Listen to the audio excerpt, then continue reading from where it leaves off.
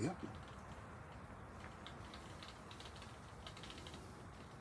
I don't know if I should kill him. Yeah. He's big. He's big. Plenty big enough.